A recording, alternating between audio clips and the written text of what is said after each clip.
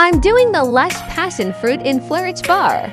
This smells really strong of sweet passion fruit. Amazing! It melted really easily into my skin and a little went a long way. This is up there as one of my favorite products. The scent lasted over 24 hours and left my skin super soft.